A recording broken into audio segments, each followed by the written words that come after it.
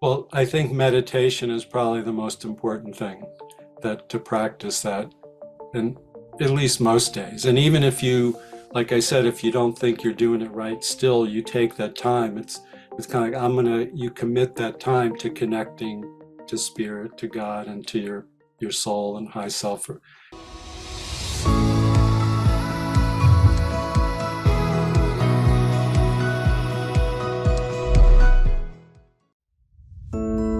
I've been able to partner with Mindvalley to present you guys free master classes between 60 and 90 minutes covering mind, body, soul, relationships, and conscious entrepreneurship. Taught by spiritual masters, yogis, spiritual thought leaders, and best selling authors. Just head over to nextlevelsoul.com forward slash free.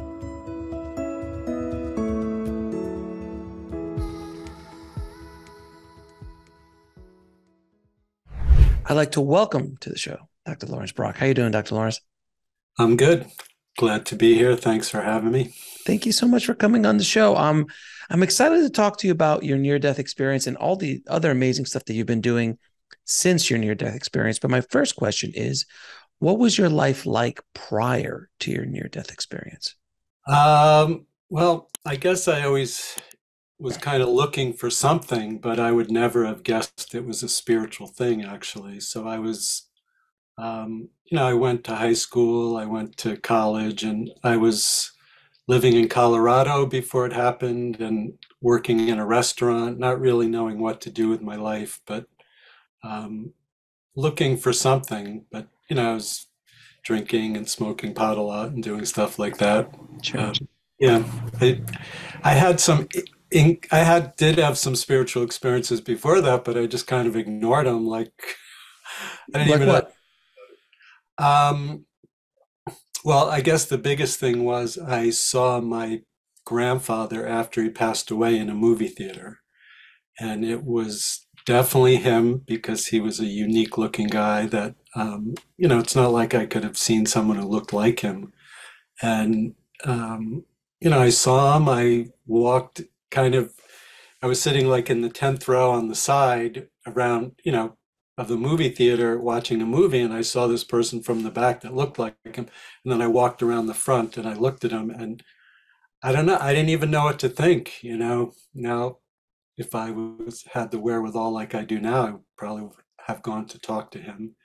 So I just left and you know later on when I became more aware and connected and able to connect to those things, I just realized he had passed away when I was away at school, and he just kind of came back to say goodbye because I wasn't really there. It was kind of cool. That's but again, I just dismissed it and didn't think anything of it, which is kind of weird in of itself. Isn't it interesting though? I've I've heard that from a lot of people that things have hap- happened to them spiritually throughout their youth and and things, and they just kind of just like. Uh,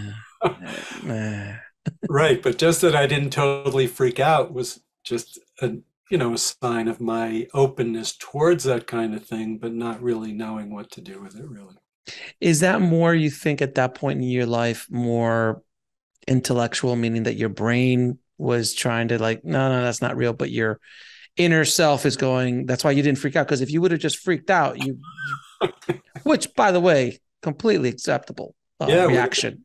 yeah, it could, you could go into like a horror movie drama in your mind, but uh, no, I yes, what you're saying is true. I didn't know what to make of it in my mind. It it didn't really reference anything I knew except for in science fiction, and I just kind of let it go. Which again, it's kind of like why didn't it seem like a bigger thing? But I guess part of me knew that it was okay. And and I've, as I've talked to a lot of people who've had near death experiences, most of them, I think, if not all of them, felt a bit lost uh, throughout before all the before time. They're kind of like walking around, wandering, jumping from thing to thing, not really feeling anything internal, uh, any connection to to a higher power, or even just having an understanding of what to do while they're walking around the earth. Uh, it sounds like that's what happened to you. Yes, I mean, I had, I wouldn't say it's. I did when I lived in Colorado, I always had a passion for cooking, so I got a job in a restaurant, and so it wasn't nothing, but it the perce perception is very different. Even while I had my near-death experience, it's not like I even knew what to make of that. It wasn't like now, well, there was no internet. It's not like you could look it up and have, I didn't know those words or anything like that. So even that, I had this great experience. I didn't really tell that many people right when it happened either. Didn't know what to make of it at all. You know, it's Wh- wh- and what year was it when you had it? 1976. So it's just starting to hit the zeitgeist in books like Raymond Moody and That that year it was starting to be there, but I I didn't know of that. oh yeah, it, it, for people listening who are younger, it- it's, it's a different different world when you had to. I mean, you could just eh, you could the library, maybe the Right, you'd have to go to the library. If well, I didn't even think there would be something to look. You know, You, I what do you what do you if you don't know the term near death experience, what do you look up? Like how do you like died, came back? Is there a section called died and came back? Is there well, actually, so what I found out a little while later when I got involved with some spiritual people, there were like the Tibetan, Tibetan Book of the Dead. sure. There are other books written about it, but it didn't. It wasn't even a thing enough where I would think, let me go look it up because I didn't know that. But I did start meeting people. Now, something probably could be the biggest thing that changed in my life is I just started meeting people that were aware of these kind of things.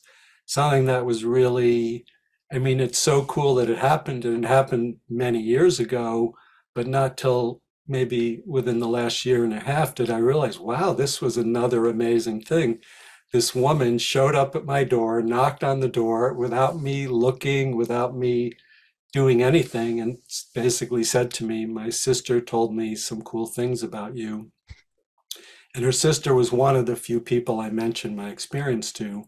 And this woman at the door said, I know this person who teaches about things like that.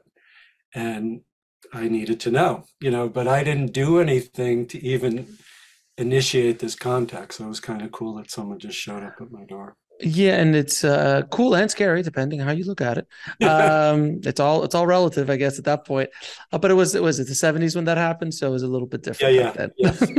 a little bit It- oh, different. very, yeah, even now, if someone knocks on my door, I don't even answer it because I assume it's just an Amazon package or something. Right, exactly. Like it's true. Yeah, Back in no back in phones, no texting, no internet, none of that stuff. It was so funny. I, thought, I saw a comedian say that the other day. Is like in, when I was growing up, someone knocked on the door. Everyone was excited, like under at the door. We had we had a cake, always waiting for people just Right, in right. case visitors came over. It was a thing. Then in the eighties, you're like someone knocks on the door. Who are you to knock on my door?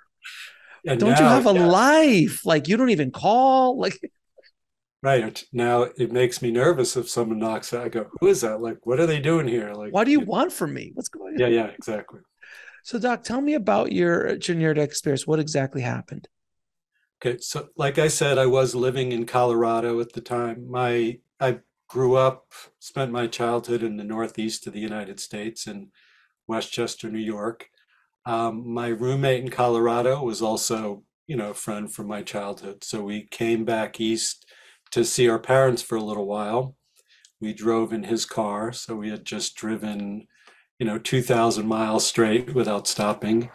And we both went home to rest for a little while. He dropped me off at my parents'. And I don't remember how, but we found out about this party one of our friends from high school was having. So we decided to go. I took my mom's little, it was a Bob Ford Bobcat. It was a Oh Bobcat. God, yeah, I remember those. And but he had a like a 280 ZX. Uh, I think it was a Datsun back then. So, but he had sports car. Yeah, yeah. And um, so we went to this party. We were definitely smoking and pot and drinking and some other things. Um, so I was a little high. I didn't feel like I was that high, but I kind of liked the young lady who was having the party. So I pretended I couldn't drive. So I asked my friend to drive me home so I could go back to the party the next day and basically flirt with the girl who was having the party. Almost back to my parents' house, I realized my sister needed to use my mom's car the next day. And I said, my friend, drive me back. I got to get the car. And he drove me. I explained that I was pretending, or I thought I was pretending I was too high to drive. So I went back to the party. I still remember, I still have an image in my mind of after that, I went in, you know, to tell her I was taking the car. I can still see the party in my mind when I check my memory. And, you know, I look at it now, I should have never been driving because it was kind of extra bright and a little hazy, you know, like when you drink too much. Right. But I remember walking towards a door. The next thing I remember, I was out of my body, looking down on my the car. The Bobcat was smashed, and it looked like no one could have survived. Um, my body was leaning against the tree with my legs straight out this way, and a police officer was like crouching over me, like he was, you know, looking at me. I I never checked. He is. I assumed he pulled me out of the car, um, but I was looking down. All of this seemed fine. There was I was in white light all around me, down where my body and the car was. It was nighttime and dark, and um, behind me was this big circle of a different shade of white, and within there there was like a being, like a sil- full body silhouette of a person or being with, you know, still another shade of white light kind of radiating off of that. The feeling was amazing, just like I don't even I start to say it, something in me kind of starts to shiver a little bit because I still use that to connect to that incredibly loving warm energy, like everything was okay. I was okay. The car was okay. My body, even though my head was smashed open, was okay. And life, everything was okay. And um, it, I just seemed to understand things like, you know, in my early 20s, it was, you know, a job, family, all this stuff. You know, I guess still those were always concerned, but everything just seemed to make sense uh, the being behind me. And I don't know how long ago, but someone finally said, Oh, you, so you could see behind you. I didn't even really think of that. It just, I knew what was behind me. It's almost like I could see three dimensionally, but I was looking this way. And the being behind me said, You have to go back. Your father wants you to stay. I knew right at that moment the father was God, not my physical father. And I went back into my body and then came to three days later in the hospital. But so you didn't go through a lot of the the things that you hear, like a, a life review or a conversation. So it was like a really quick, if you say quick near death experience, like you were there. I could I explain it, but when like when someone asks me that and I try to check how long it was, I don't really know. It there seemed like it could have been forever or not at all. So the the thing where people talk about there was no time that I definitely experienced right then also. So was there any information other than that sent to you at that time? Um, I, you know, yes and no. So as I mentioned before, I did not know what to think of this. So mm-hmm. it was, and I guess in a certain way that was a blessing because it became my mission. I need to find out and needed to learn this. And even I would say maybe a year ago, all of a sudden I go, oh my God, I can't believe I didn't understand that mentally because it was, uh, there was something about meditating that I go, ah, oh, I was shown that during my near death experience. I just didn't register it in my mind. So you're asking things that are reference of this physical level and thinking in a linear way, and that did not happen there. So in one way, I got everything but in another way, I had no idea what to do with. We could say. right, exactly. All right, so so you so you have your near death experience. You're, I'm assuming you were like in a coma for those three days, or or out yeah, cold. Yes. And when you wake up, um, you have a memory of what happened, correct? Yes. And what's I have to ask you, what you, what's going through your head? I mean, you just got done. You're how old are you during this? Twenty two so you're obviously a sharp, sharp 22 year old, sharp, very sharp. Yeah. Uh, yes. Not knuckleheads at all. Uh, no offense to any 22 year olds listening. Yeah, no, it's a different way of looking at things. Yeah. Exactly. So you're you've just had a car accident. You're in the hospital, and then this information. Did you think it was a dream because again, this is not in the zeitgeist, so nobody yeah. knows about, or it's not uh, publicly talked about so much. So, what did you think it was? You know, I just knew that it happened. I didn't really think about it very much. That was the thing, and I, um, you know, I was happy that I was alive. I, you know, remember um, the nurse and the doctor. Basic, they didn't tell me I flatlined, but they, you know, the nurse said it was touch and go for a while. The the neurologist looked at me with this big smirk on his face that I could still remember. He said, "You're lucky," and I don't, I don't know. You know, you, you're like it's. It was just something I kind of put to the side and didn't really think about it or mention it to people. And I, you know, it's a, a totally different reference now. Like now, it's on, you know, half the TV shows mention near death experiences or things like that. So you know what to think of it.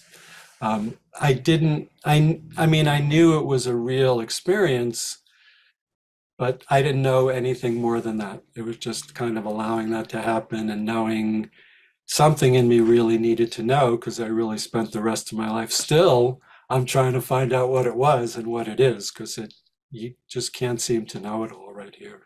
So when uh so how how long bef- after that you woke up did you start thinking about it more seriously when you started to like because I'm assuming there's a, a, reference point of like I just got to get healthy again. I'm 22. Yeah. I got all that. But at what point did you start going back and going, what, what the heck was that thing I went through? Like, well, after so I I went back to Colorado after getting somewhat physically better, and then my mom kind of convinced me to move back east. And I was sitting in my apartment back east. So I, you know, I'm not so good with years and days and all that stuff. So, but within a year, this woman showed up at my door and introduced me to this teacher.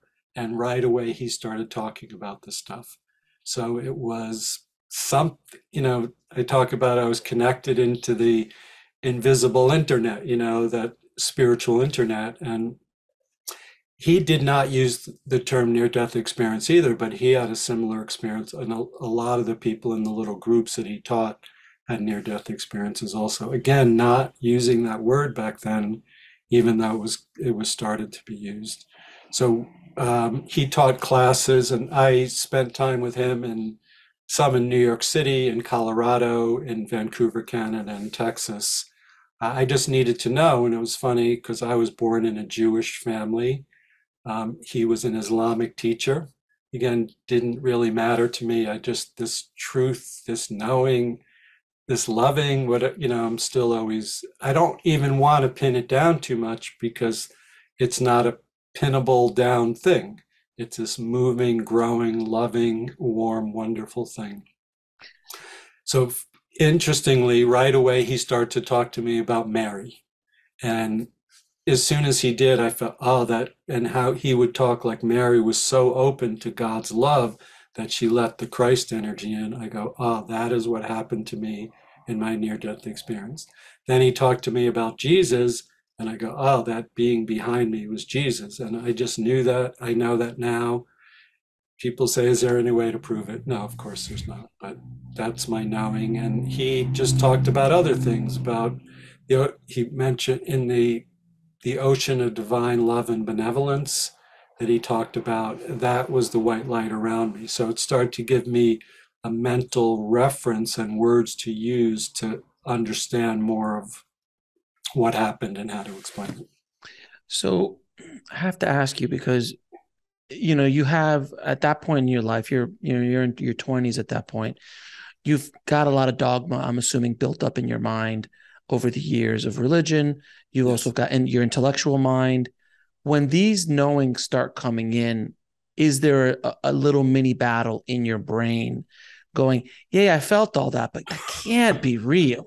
Like, Jesus, do I sound like I'm crazy? Jesus was behind me. Like, did you yeah, have yeah. those kind of internal conversations? I did. And to tell you the truth, I still do because there are times I'm just in doubt about it. Like, you know, it's it's not like you're a wall. It's not like this solid thing.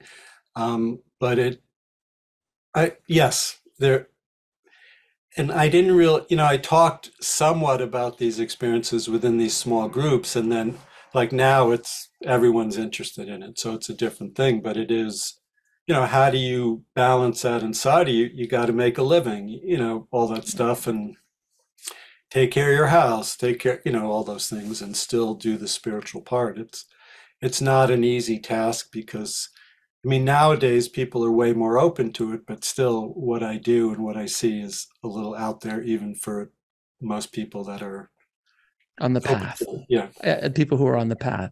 Yeah. And when you finally kind of came out of the closet, the spiritual closet, if you will, Yeah. um, what happened uh, with the people around you, family, friends? Because I always love asking that question because I have Yeah. to imagine not everyone accepted the situation and there were some issues. And I just always love to ha- find out how you dealt with it, how you felt with it, how you dealt psycho- psychologically with it. Um, I definitely had some people in my life that didn't really want to have anything to do with me after I opened up about that. Surprisingly, uh, it's, I mean, some, my dad recently passed away like about a week ago, so Oh, I'm so sorry. thank you. But some nice things with him is when I first told, so I'm a minister, and when I thought it would be such a big deal to tell him this because after my near-death experience, my, you know, I considered myself before that to be Jewish, not that I was that into it, but starting to believe in Jesus is a whole different thing. And when I, I wanted to tell my dad I was a minister, and when I told him I was, without missing a beat, he said, Do you have to pay income tax? Like I thought he'd be so upset about that I, you know, was doing something Christian, and um, he was more the typical Jewish businessman concerned about it. Um, later on in life, he started to become a much more loving man. When he was in his early 80s, he met this woman and really fell in love with her, and he really changed. So he one time, he must have looked me up online after that. I mean, I talked a little bit about it to him, but he started to talk to me about my near-death experience, and in his desire to love and connect with me, which was really nice, he started to say he had a near-death experience, but his was he fell asleep while driving one time, and the gravel, as it, his car pulled off the road, the gravel hit the bottom and woke him up. So he didn't really have a near-death experience how we talk about it, but he said, you know, if the gravel didn't wake me up, he probably would have died. But his wanting to connect with me, you know, soup, and he was not, he was totally sharp in his mind. So it was almost funny to me that, funny in a nice way, that his love superseded his mind to, you know, to try to connect to me about what was going on. Was That's great. beautiful. That's Yeah. beautiful. So there's a, another little aspect to your near death experience that's very interesting that you came back with some stuff. Yes. Um, when did you discover the gifts and the abilities that you now had uh, when you went after your near death experience? I started to discover them pretty soon. Um, so one thing I noticed, and it still happens when I touch people, my hands become warm. And that I noticed, again, I didn't know what to make of it. It's not like I'm thinking healing. You know, nowadays it's everywhere on TV. I think TV shows really influence people so much to be looking for that. I just didn't even think of it, but I knew that my hands became warm and people felt good. There was one time I prayed for someone and something happened. Um, when I met the teacher I was talking to you about, he started talking to me about it and he would call me a sensitive, which I knew was a good thing because he referred to himself in that way. And he just started talking to me about different healing things and um, but still it was hard to really grasp.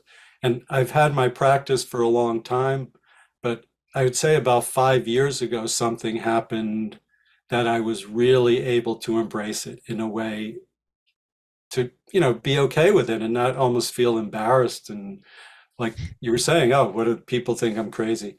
Um, I just helped this woman who had a a miscarriage, who was she was in really bad shape physically after that. The doctor said, forget ever having a child. And at this point, you know, we're a little concerned about saving your life. And she came to me. One of her friends kind of forced her to come see me. And after two sessions, she sent me this email saying, I don't know what you do, but the doctors say I'm getting better and they can't believe it. And I, it was a couple of years after that, but I was looking for things, you know, it was around Thanksgiving and I started looking for things to post and I read this. I go, wow, that's like amazing. because she went from being very sick to being healthy within a few weeks. And I know, I just let it in, and it was like I doing something really cool here. And a lot of my embarrassment about talking to people about this kind of out there thing went away right then. So it was gradual over years of accepting it and experiencing and you know Almost, re- Yeah. it's it sounds like you were almost reluctant about it. Just kind of like, Yeah. I don't know. I mean, I can heal people, but should I do it? And what are people going to think? Well. I know I should do it. Part of the reason I talk about it that way is, like I said, it's not something you can pin down. So if I describe it a specific way, then someone else is looking for that exact thing. It is really about helping the person unfold spiritually, and usually within there, there's a way for them to heal. And it could be physically, emotionally. I mean, sometimes I help people with business stuff, with family stuff, you know, all anything it could be. So is that the only gift that you came back with? Uh, you know, sometimes I know things about people that are very, very specific that I couldn't know otherwise.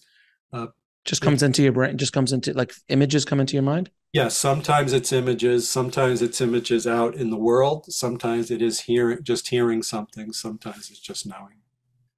And and when that I, I'm fascinated by this. When this first happened, how did you Yeah, how do you deal with this stuff? Like it's kind of like it's kind of like Superman, like I can fly. Like it's a it weird thing. So how did you Well, handle that, it? I mean, my reference is more from Star Trek than Superman. Fair, But fair yes, enough. that's that's what it was like. Um, I, you know, again, it like seeing my grandfather, it just was kind of part of me, so I didn't, it wasn't like I freaked out about it. It is more, is it, you know, should I say something? Are people going to think I'm crazy kind of thing? And um, but I, it again, it just seemed to naturally evolve, which is a certain point of view. Because if you're not thinking that way, even when I was young, you know, I went to Hebrew school, the things in the Bible that were these very mystical, magical things are what caught my eye.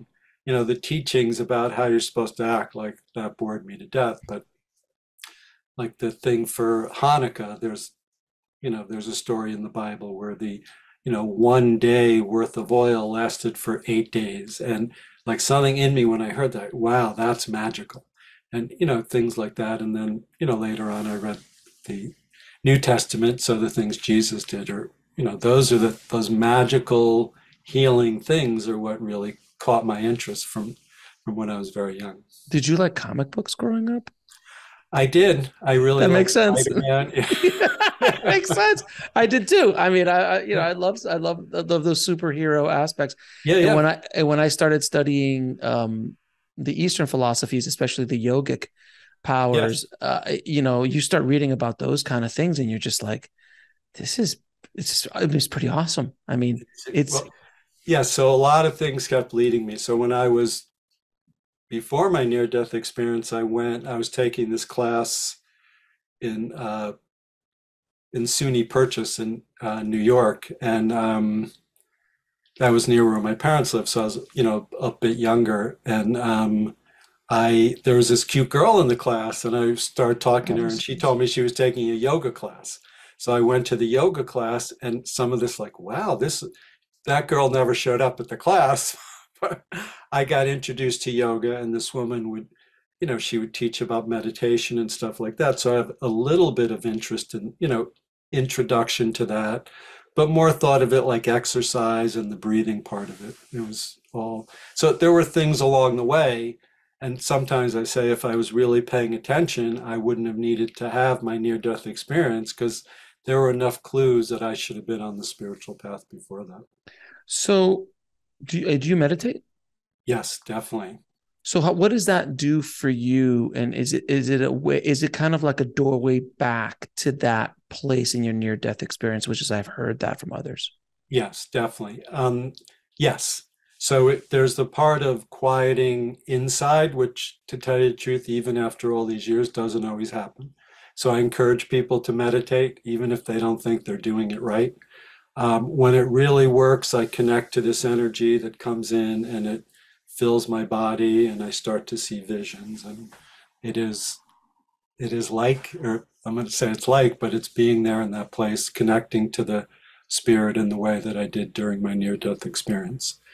part of you said did any other things so part of what i do when i work with people is i can bring that energy in and i can see a line for them like how they get there some by energy manipulation and some by talking to them they can connect into that which is great.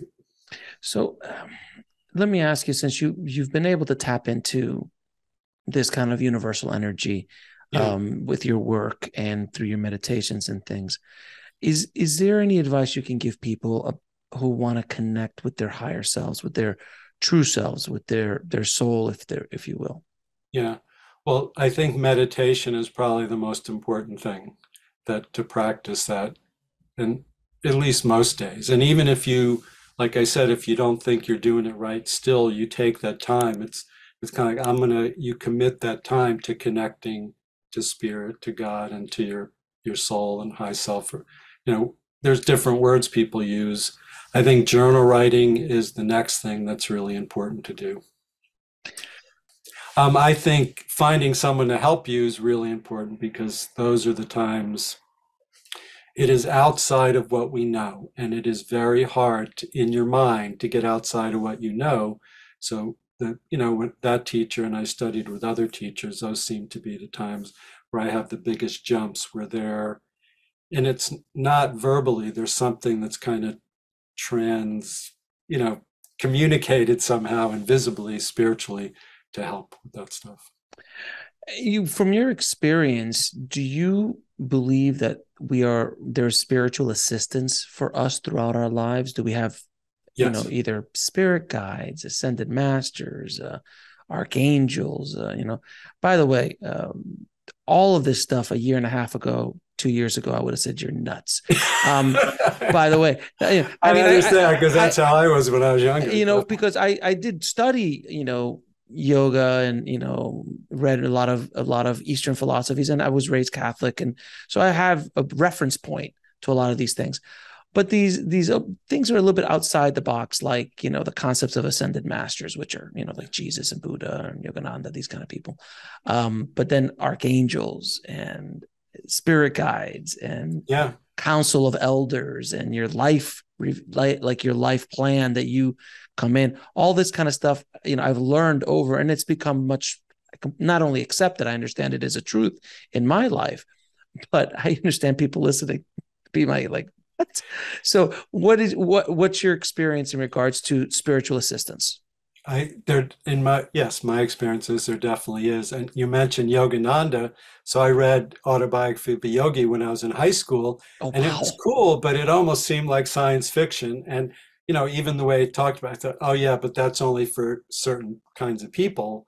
Like right. you know, not in a negative way, in a way that are they're dedicating their whole life to that. And um, so when I wrote my doctoral treatise, I used that book as a reference, and it, it just I realized you know, I got that and it was like something out there.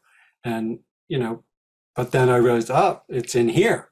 So that was a big, but um, so yes, I think there are things, and I, I would say I know there are because I see those things now and I can help people. And um, it's kind of cool when I talk to someone. So I work on the phone and video, and it's so cool when people get it in other parts of the world. You know, you talk about whatever I mean, Jesus is one that helps a lot of people, not everybody, but a lot of people. So you talk about those things and people feel the difference and they they get visions that are similar or you know I mean, I've had experiences where there's just no doubt about it. Sometimes people say, How do you know it's not all in their head? I say, It doesn't really matter if someone's getting better. Um, but there are angels around, there's archangels, there there are the dark things in the spirit also that affect us in a negative way but thankfully the light wins out over dark is a good thing so jesus is a busy guy i mean I, yeah. I, jesus i mean he needs a break he needs a vacation i mean this poor guy has been working hard for 2000 yeah. years well, you're humanizing him, which I know, I know, I know. But it, it is this endless, loving, caring, healing energy that is like, you know, the the closest thing I can imagine to it is how much I love my daughter. And it's, but still, see, I say that and I go, I can just let it in because you're talking, and my mind goes there too. It's like, nope, this is this endless, endless. It's hard. For, thing. It's yeah. hard for us to even comprehend like infinity or something that doesn't have a beginning or an end. It's it's it's hard for our intellectual minds to understand yeah, that. Definitely. But our but our spirit starts to feel it, and that's one thing I've I found after speaking to so many near death experiencers is that there is a not only a, a, a telepathy in regards to speaking because there's not language per se um, kind of but whatever your language is that you understand at that point uh, yeah. you feel it but there is a knowing and that's and if you as you read these ancient texts you start to understand that it, it is a knowing and it's hard for or a truth like a universal truth uh, yeah. that is difficult to to articulate in our language. It is. So I always add that in to what I say to people, and then they go, Oh, I know what you mean. And it is using words that's kind of guiding them to allow their mind to open up to this thing inside of them. And then they open up and it goes, and they, they get it. And then the words don't really matter. You know, if you're, you know, all the things we're talking about are connected to certain religions. So people have to get past that to get there but they maybe they don't need to. Once they get that feeling, then it's like, oh, I get it. And they kind of know everything. Well, the thing of saying knowing everything is a requirement that there's something to know. But so it's more like this amazing acceptance, like that everything's just okay. So you don't need to know anything, but it's nice to know things. Like it's really cool when I see something about someone and I, you know, it's a very specific thing. That's always kind of fun it's essentially that kind of feeling you're talking about the feeling of just knowing that everything's okay is a faith is a faith that you you feel it and there's no explanation for it right and that's the thing that your intellectual mind is going this doesn't yes.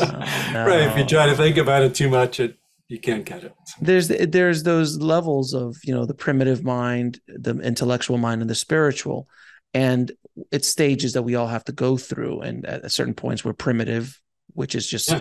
instinctual then we go into the intellectual uh, that's everything's thought thought thought thought thought there's a god but we'll talk about that later kind of thing and then the spiritual which is all feeling all knowing all yeah. connection and understanding that you just it is what it is which is so hard for the brain it and the ego and deal. even that it's like there's a limit there and then it's always more so it's yes, it's it's hard to put into words, but you know when we come together and talk about it within a certain agreement, then that energy comes in. And you know the thing Jesus said, when there's two or more gathered in my name, there's a great truth to that. In in from from your experience, because I know you know we we live in the West, uh, so we have Western um, you know people like Jesus and Mary and things like that.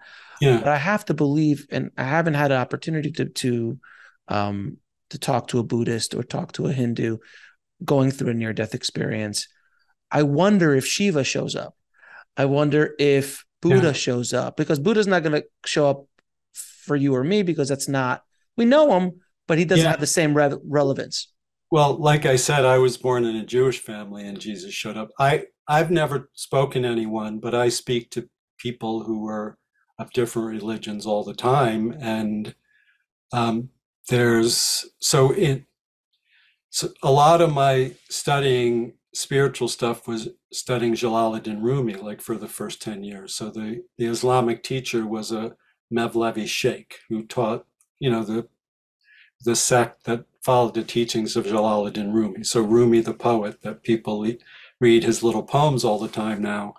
But in his books, he talks about Jesus, Mary, Moses, all of these things. So there is, I mean, in the spirit, there's there's no there's no religion. They're just these amazing beings. But so I've sometimes have gone to Siddha Yoga.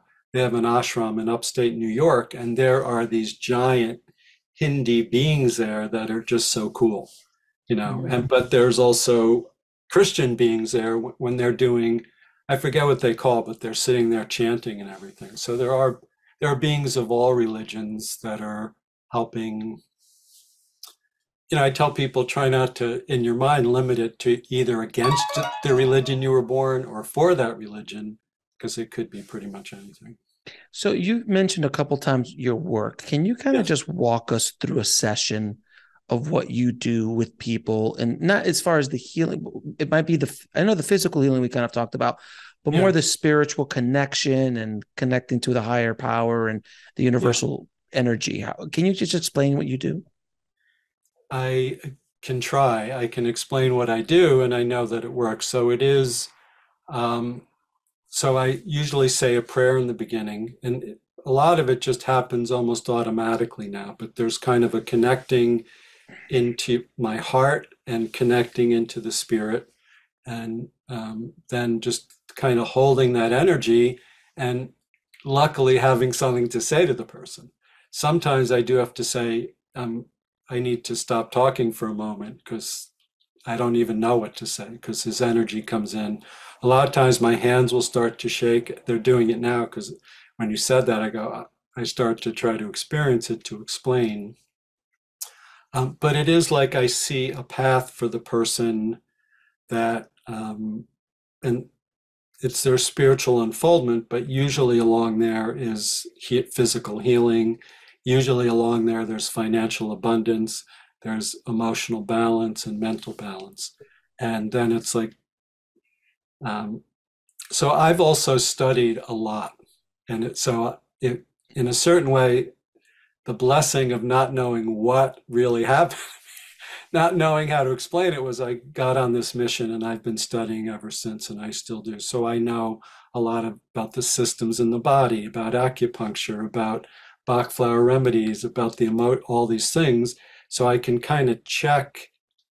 And usually now it's just intuitively, it goes to one of those things like, oh, that's what this person needs cleared up. And, but I, if I don't, I, there's lists I have in my mind. I could check, oh, is it acupuncture? Is it their nervous system? Is it this? Is it their brain? Is it their emotions? And um, then it is like asking, for a healing for them and asking for a blessing and being very open to whether it is Jesus or Buddha or uh, Abraham or the archangels or whatever that is, and allow for that to come in and then just kind of keep holding and holding. And it puts this energy around them. Once in a while, I kind of nudge it a little bit, but I'm always reluctant to do that. Sometimes people are not healing physically I mean, if it were up to me, people would always get better like that, but that's not how it is. And so sometimes it's like I need a little to nudge a little bit, which usually turns out all right. But sometimes people, their system will react kind of panicking in relation to that, but it gets their energy going to heal. Now you mentioned something. You mentioned spiritual unfolding. Yes. So are you able to see the uh, evolution of where the spirit needs to go between now and death kind of situation? Or I mean not like you don't know uh when they're going to die or anything like that, but you see their not their their their kind of blueprint of this life of what they need to do? It could be explained like that. It, to me, it's more like a path. I don't uh, actually. Today, I was doing some meditating, and it actually was looking like a chain for some reason. And so I'm not resist, you know, it, you want to be open to how, because part of it is how the person's consciousness expresses it and what, you know, their karma is, which is all the past lives, all the things they need to learn, and how that can unfold in the most in this lifetime. So it's, again, you're asking specific questions, but it's just really be open in this loving way of knowing something is really wise and all knowing within them that knows this stuff and how can you connect it to them? Or how you can get them to be more aware of it because it's very connected. So it's, it's funny because our conscious mind is kind of the last part to know.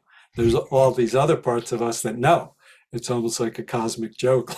You can't know it but it's right there. It's so it's always inside of us. And, and it's yes. that kind of like intuition in many ways? Uh, or is that kind of the spiritual yeah, guidance along again, the way? in our intuition we're trying to put words on it. So it is intuitive but there's a lot of be careful to label it.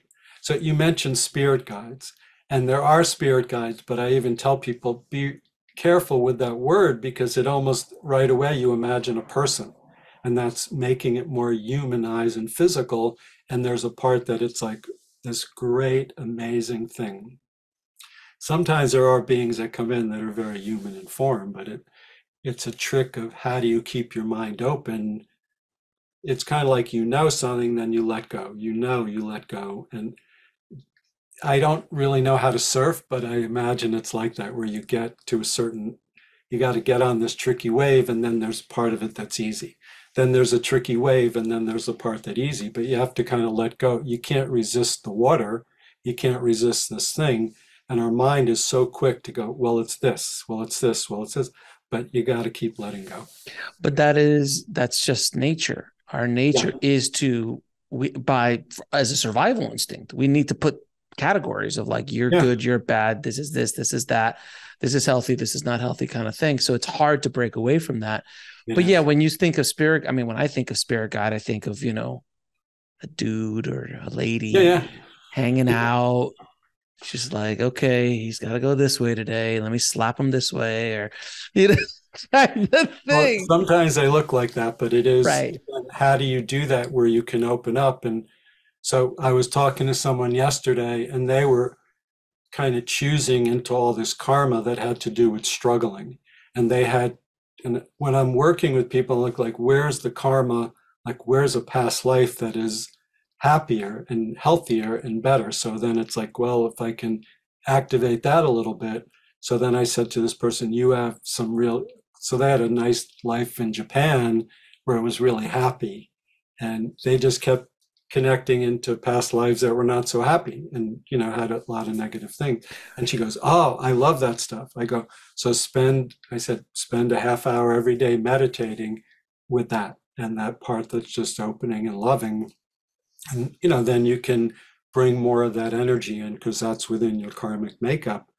Like you can't not be in your karmic makeup, but you can kind of choose and you can clear some of the stuff and make it better by doing that. So it's essentially uh, a Netflix for the soul, uh, where you can actually stream yes a better movie or better show with better experiences and connect to that as opposed to watching the horror movie the entire time. Yes.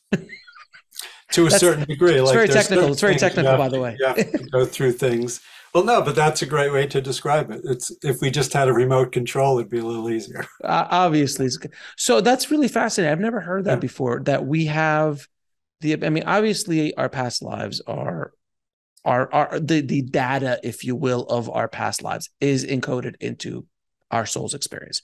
Yes. We are for for obvious reasons uh, not exposed to those information because one we'd lose our mind because we could barely handle what we deal now with can yeah. you imagine if you had to deal with like stuff like i was a mayan uh, i was a samurai i was a samurai you know you go back i was a villager and and you just like you know go crazy with it but you're able to tap into those experiences. But for what re- so it's just more about the energy of that time. So like you just said use that example like oh you had a really good life in japan. You can go back to that time and just connect to that good energy to bring it into this lifetime? Yeah, we use our imagination, but the qualities and our attributes are they're all in us. So when you can focus on those better qualities and attributes, you can make the quality of your life better. There are certain things we need to go through, but there it's usually it's just something we have to go through and the learning is not something we can understand in our mind. So it is, can you go through that and still appreciate yourself and love yourself? That's more of what it is than the lesson. Oh, I need to learn to, I know what it is. A lot of times people say, oh, I need to stay away from people like that. Usually that's not the lesson because if you need that kind of person, you'll find someone else. It's more oh, like, yeah. can you love yourself with that person there? Or you know, mostly about loving yourself. It, but yes, you can choose into the positive qualities from those lifetimes and keep making your life more about that. Then learning how to handle the situations that we might consider, you know, not good karma in that same way with the integrity that you did in that lifetime. That was really good. I have to ask you, did you ever see the, the movie Defending Your Life? Uh, it sounds like I have. Remind Albert me. Albert Brooks, Meryl yes, Streep. Yes, yes, yes, Isn't yeah. that a brilliant film? It is. I mean, he's there just looking the past life pavilion, and they go in, and Meryl Streep's like, you know, Yeah, a yeah. knight on shining armor, and he's like a, That- a That was one terrified of the early villager. movies about that. Yeah, that was great. Yeah. Such a great, great film. Um, now, I just uh, you know, from all of this experience, especially from your near-death experience, what was the biggest lesson you pulled away, even at that early stage of of that when you first had it, before all the spiritual awakening and understanding? Is there a lesson that you just took away from that experience? Um, yeah, I think that love is the answer. You know, love is the question. Like, um, you know, how can I be in my loving more? It, that um, that it's an ongoing process. That you never, like, you know, you ask questions like, you know, I've been doing this a long time, but I don't consider myself the ultimate expert in any way whatsoever. Even meditating, there's some days it is hard for me to sit there and meditate. Today was one of them. And I said, "Oh, I need to meditate before the interview," but you know, I didn't quite make the time. I did a little bit, but um, so it's you know, it's being the student, being open to learning, knowing that there's more, that it is this endless, loving, wonderful thing, I- guess. But you know, again, it's trying to put something into words that's indescribable and um, you know, you just open up to stuff. And so now I'm seeing my grandmother here. I don't know what she has to do with it, but you open up. But love is is the thing. That is the thing. Yeah. Now, I have to ask you, as we've been having this conversation, I'm just curious: Do you see anything with me as as we've been Uh, talking? Since we're as we're having this connection, Yeah. I I'm not asking for a free service, sir, but I'm just Yeah. asking. well, I could. I'm not. I'm not. Wasn't. I don't look. I've learned not to do that when I'm not asked. But um, so yeah, you. I would tell you to breathe into your heart a little bit, and then I could see what. Um, you know, there's a bit of a procedure with it. It's not Okay. always. Sometimes I just see things without people asking, but Mhm. it is kind of like you need a certain permission to do that. You have you have permission, sir. How would I do? Do I breathe in? How would you tell me? If Yeah, you, want to do it, if you don't have to do it. You can put your hand on your in the center of your chest and focus in there and breathe. Um, so there's so there's okay. So yeah, there's some stuff starting to clear for you. So there's it's kind of like your energy field is here that you're aware of, and then like I said, there is the part beyond that. But then even the part way beyond that is where you start to connect into the spirit, and you could do that. And you you might start to feel something happening because it's starting to happen. Okay, so and then you just breathe and you kind of let that in. And it's like what how can you get your mind to that place that's just open to uh so yeah there's someone there. I, it might be your grandfather or great grandfather actually that's kind of trying to help you. So um so it's you could do more so you're kind of clear which is kind of good because most people are very yucked up to tell you the truth and then you could do that and connect so see when i'm holding my hand up here it's helping you to connect to that thing so, yeah just take a breath there you go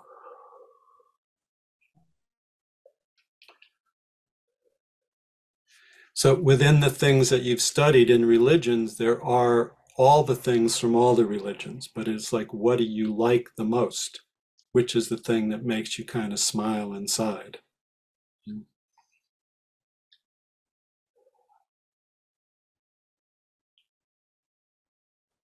So and there's there's a negative form there that will just ask for that to clear that's blocking you a little bit. So your energy field's nice and expanded. So there is a part of it that we almost like put our it's more of our imagination up into the spirit. Even it's like our spiritual mind, and then you can start to get information. So when you do that, stuff starts to flood in. I'm not seeing exactly what it is, but you're surprisingly clear to tell you the truth, which is cool. Well, I've been working out, so there's the Yeah. Physical exercise helps definitely. well, I appreciate it. My hands tingling, that's for sure. Yeah, the hand. you did is, good. yeah, the handle's it's been tingling. So here, try to like let your mind sit back. Like you're see you're you did good. You didn't put your mind out here, but it's right here. It's almost like you let your mind be back here and then see what comes here. Okay. Close my eyes.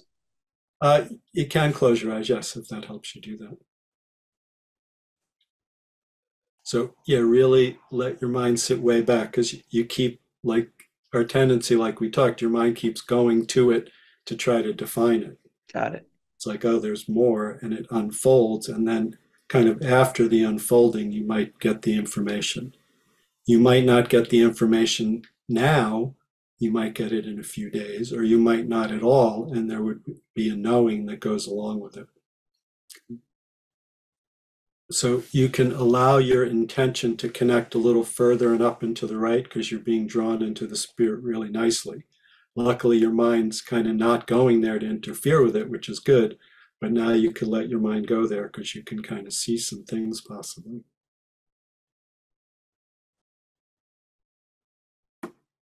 So yeah, you're doing good. So do you, you feel the con- somewhat of the connection there, right? Mm-hmm. It's really sometimes really light and subtle, but that lightness is what it is. Yeah, so that's good. So breathe into your heart again. You can start to connect back into your body a bit. So the things that are in the very high levels of spirit, it is it is hard to talk from that place or even know what it is. Okay. So it's kind of cool when you see things on the, the physical, the astral or causal level, because they're very similar to the physical level, but in the spirit, there's not much we can say about it. Well, um, all I can tell you is it started to get to it's, it's kind of like I started knocking on the door. Yeah.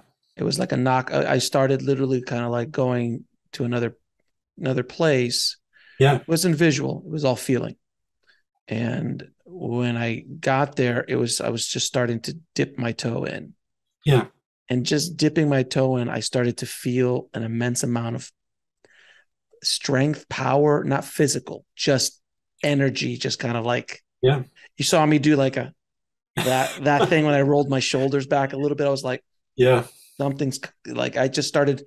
I Yeah. felt like I could take on the world. It was this kind Well, of that's right. So connecting into that, and then we do have to process it somehow. But so yeah, if you breathe into your heart and expand your heart and let that in, you know, that's kind of how the healing takes place. That energy comes in and can fix all sorts of things. And it's happy. Uh, it's a happy energy. It's a it's a loving It energy. usually is, but sometimes when there's stuff to clear, it comes up and But I'm but- but apparently I'm pretty clear, as you said. yeah, surprisingly clear. So that's cool. Doc, I appreciate that. That was really good. We Yeah. did kind of like a live little session of what you do. So Yeah. uh, I'm like a commercial now for you. Now everybody who's watching, All if you if you want, can tell Dr. Brock. Yeah. Uh, know it's really. I I mean, I'll be honest with you. It's it's really. You know, I meditate a lot, and everyone on the show Okay. knows I'm a very heavy meditator. Um, been meditating for years now, and try to do two to four hours a day, sometimes. That's Um, and those feeling, I'm I, ca- I'm still a little high. By the way, I'm still Yeah. a little. I'm still a little So, high. yeah, right so now. here, this is good. So just feel your feet on the ground. So you want to be able to kind of do that and then have your body there. So you can, without stopping that, you just feel your butt in the chair, feel your feet on the ground, yeah. and then start to talk from that place. Sometimes you might have words, sometimes you, you can't. But No, it's- no, it's it's Yeah. um as I'm talking, my face is like I feel like I'm flush.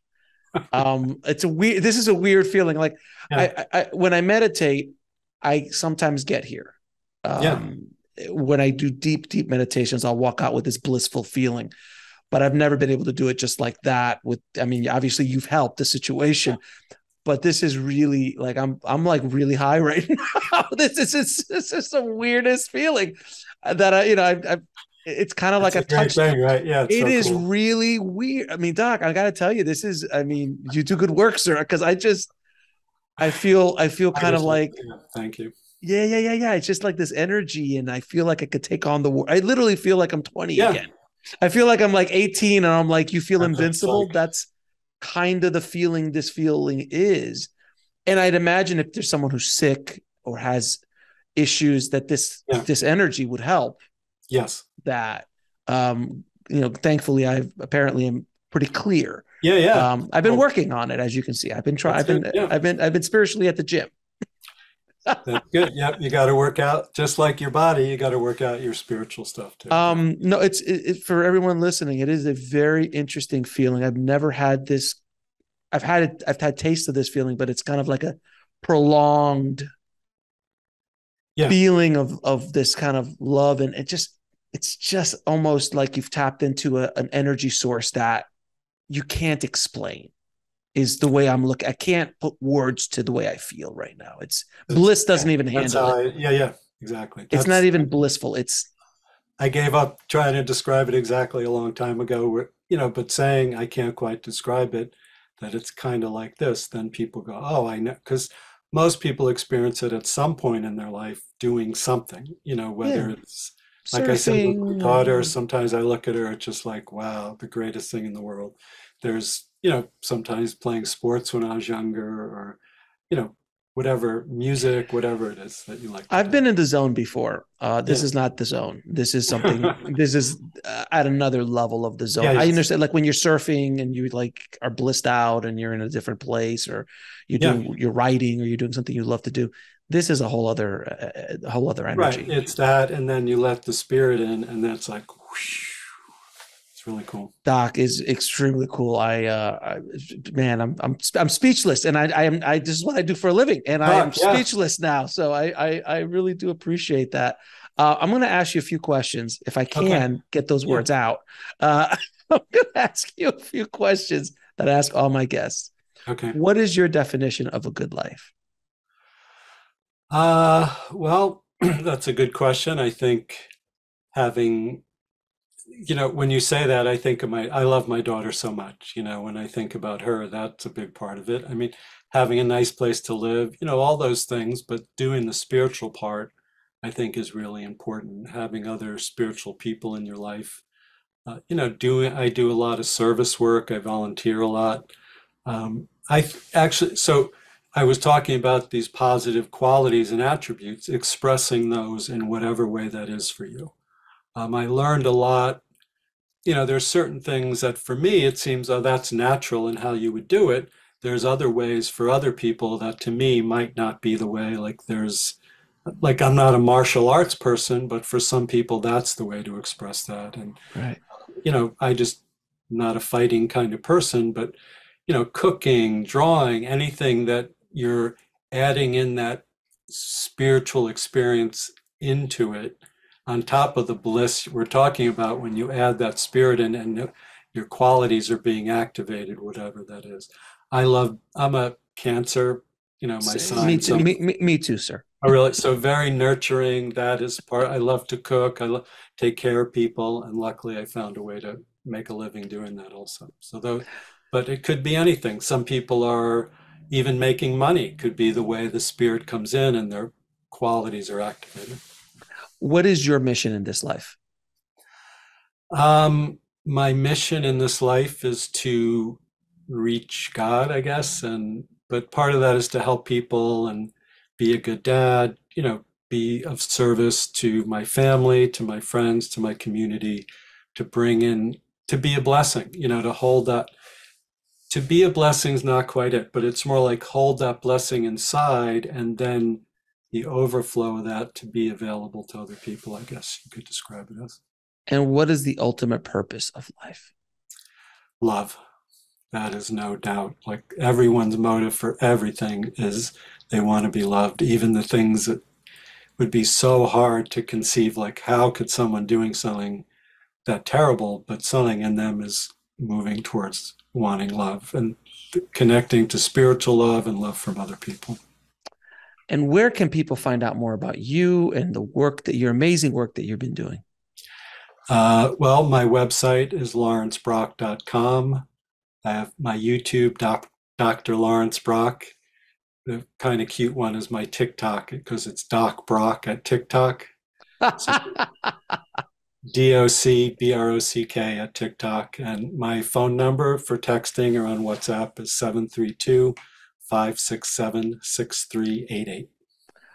Doc, uh, I appreciate you coming on the show. Thank you for this amazing uh, experience. I'm glad you got it. That's so cool. yeah, I'm, I'm so glad I I asked that for that experience. And yeah, it, this is great. this is a beautiful commercial for uh for what you do because it is it's pretty remarkable. It's pretty remarkable um what you do and um thank you for sharing your story and thank you for the good work you're doing for people You're out there. So I appreciate you coming on the show, my friend. Thank you.